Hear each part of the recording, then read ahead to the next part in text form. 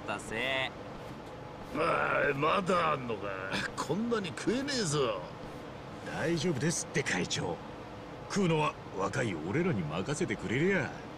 私らはまだ全然いける。心配いらないよ。いただきます。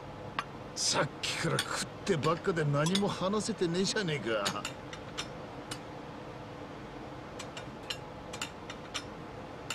確かにうめえけどよ。じゃあ俺が議事進行しよっか。これが久米君。ブリーチジャパンの横浜支部長。次の総選挙でこの地区から立候補するって御人だよ。青木亮がこの偉人帳を自分の色に染める手始めが彼ってわけだね。ここだけじゃねえ。全国でブリーチジャパンの支部長たちが出馬するんだろそうみたいだね。となりゃもはや日本中がなるようにしかならねえ。今青木知事の人気に対抗できる勢力はどこにもねえんだからな。ちなみに星野会長は久米は当選確実って読み？まあな。久米は絶大な青木人気の後ろ盾だけじゃなくサポートも全力でやってもらえるだろうからな。やはり手がてえとこだろうな。ああ。しかも青木亮にとってここ偉人帳は特別な意味を持つからな。かつて荻窪豊かの王国だったこの町をとってこそその後継者を名乗れるということは誰より理解しているはずだ。そうだな。たとえ日本中の他の地域で民事党が勝ったとしてもこの偉人帳を取らねえと意味はねえ。どんな手を使ってでも勝ちに来るだろうな。そうだね。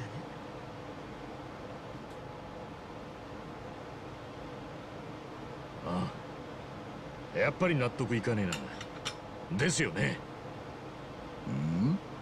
何がだ？だってそうでしょ。このままじゃやられっぱなしですよ。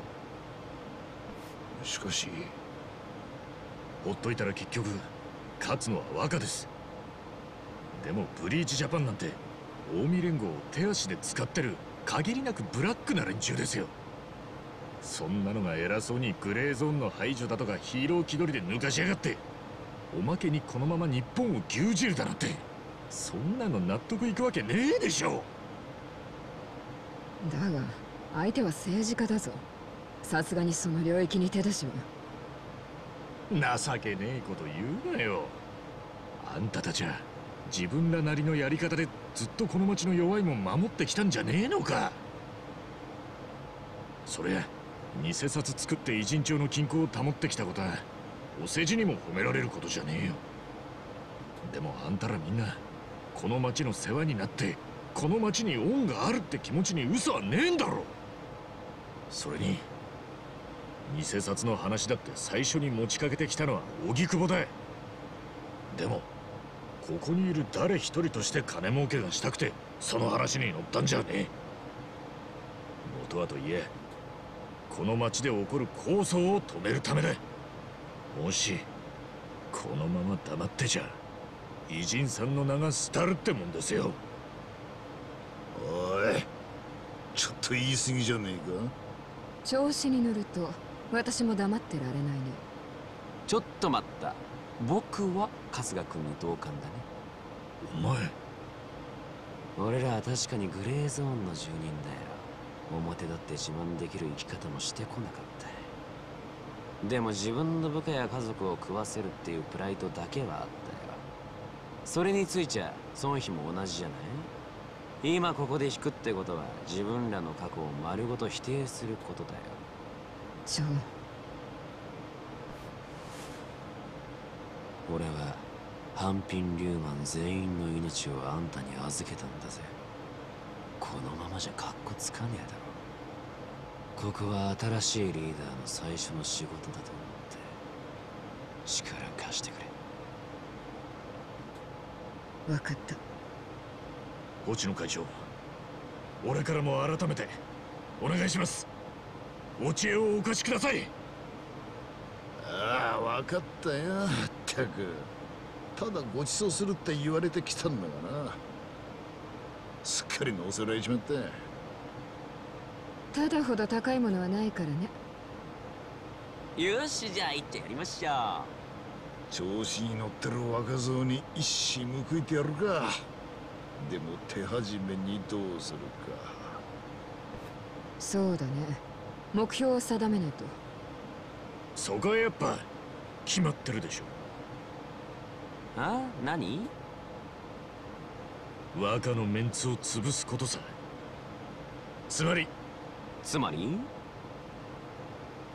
この町の選挙で久米が落選すりゃいい久米を落選させる？どうやって？いやまだそこまでは分かんねえですけど。でももしやれたらざまあみろって感じですよね。簡単に言うんじゃねえよ。じゃあ襲って立候補できない体にでもするか？ならうちの暗殺部隊が。殺す気かよ。抵抗されれば最悪の場合は。そういうのはダメそれにそんなことしてもすぐ次の立候補者を立てるだけだよ。向こうは勝つまでやめる気はないでしょ勝つまでやめないか。うん。それで。え？つまりこっちが普通に選挙で勝ちゃいいんだ。久米より票を取れる候補者立てて思いっきり任す。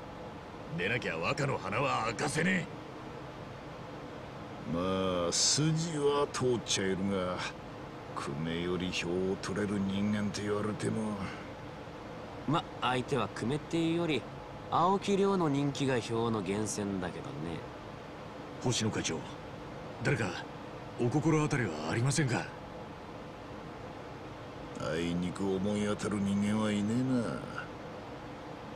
な。今まで荻窪という存在が大きすぎたせいでこの町やまともな対抗馬が育たなかったからな。